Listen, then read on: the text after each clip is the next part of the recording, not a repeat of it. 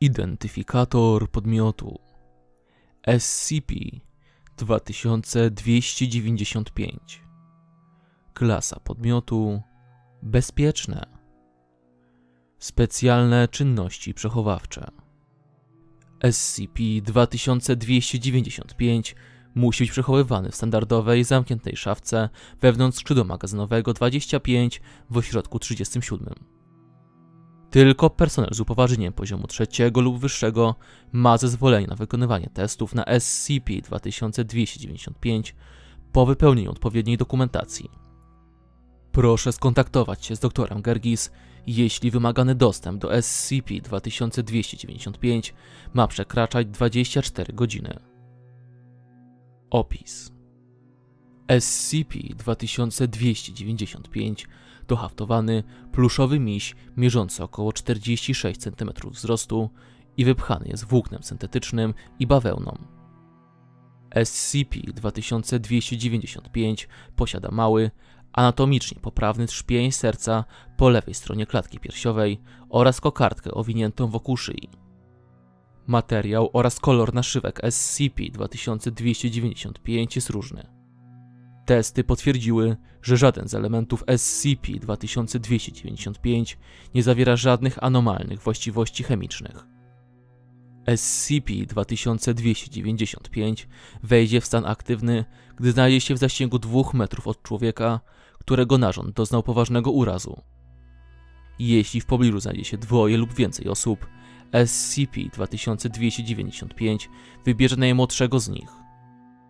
SCP-2295 w niewyjaśniony sposób wytworzy nożyczki i igły lub szydełko z pyszczka i użyje dowolnego materiału i farszu w najbliższej odległości, żeby wytworzyć instancję SCP-2295-1, haftowaną imitację narządu osoby chorej.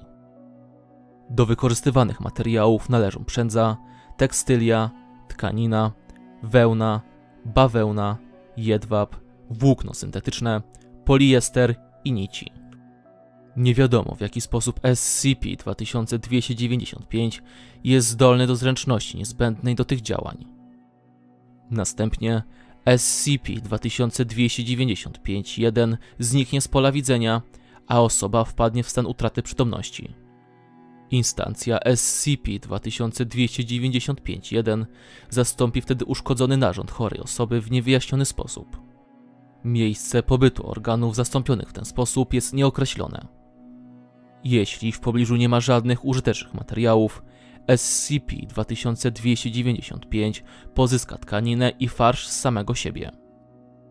SCP-2295 regeneruje 1 gram farszu każdego dnia, aż do całkowicie zastąpienia utraconego lub zużytego farszu.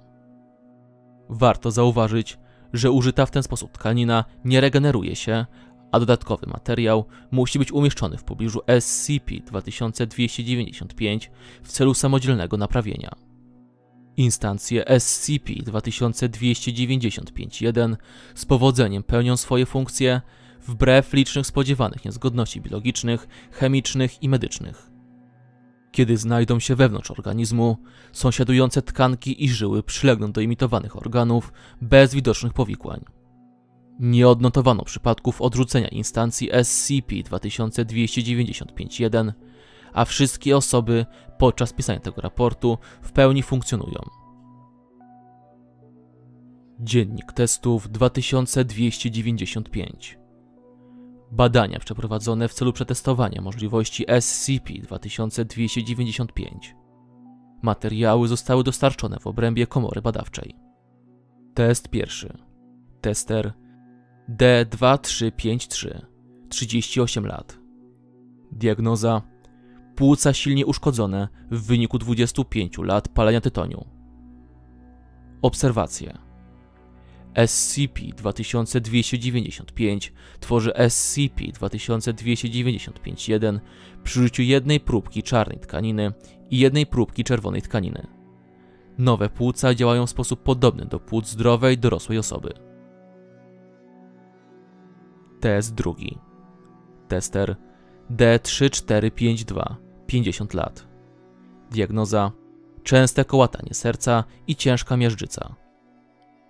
Obserwacje SCP-2295 szydełkuje SCP-2295-1 z wykorzystaniem różnych otaczających go przędz.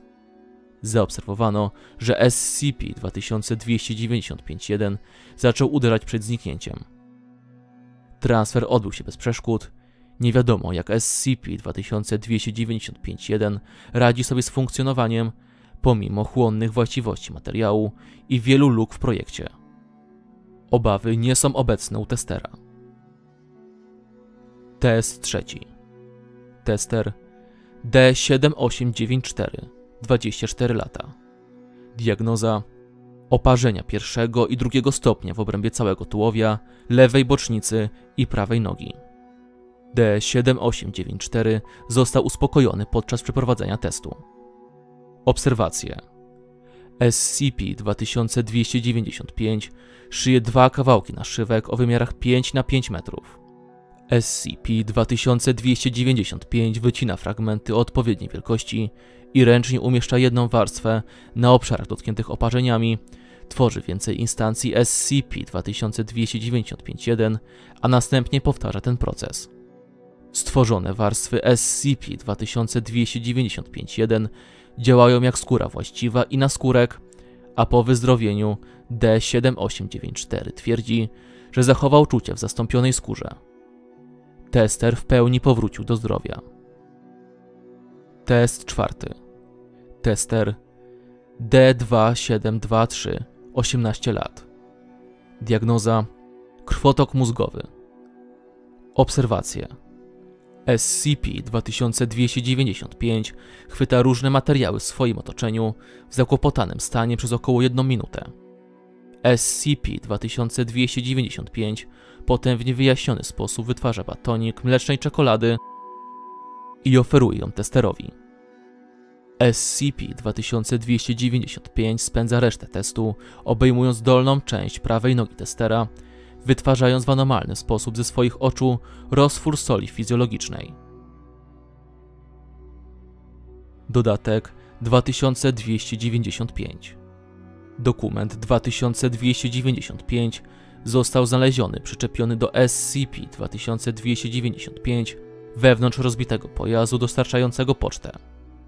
Dokument 2295 to czerwona kartka z życzeniami Get Well z napisem Miś Karios na przedniej okładce. Dla Tomiego, ponieważ tylko czas może uleczyć wszystkie rany. Dużo miłości, babcia.